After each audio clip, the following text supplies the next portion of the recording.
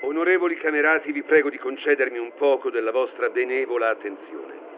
Io vi parlerò delle condizioni in cui versa il gruppo di industrie che meglio conosco.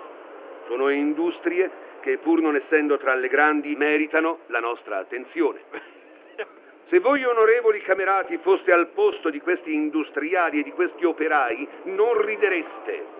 Questi industriali che hanno tanto sofferto per la crisi. Quando vedono una nuova costruzione, un nuovo progetto, pensano, ma ci sarà lavoro per la nostra officina?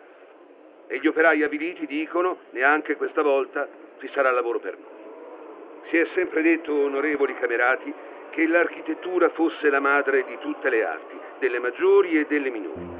Ma un'arte che sopprime le sue figliuole non è più una madre buona, è madre mostruosa.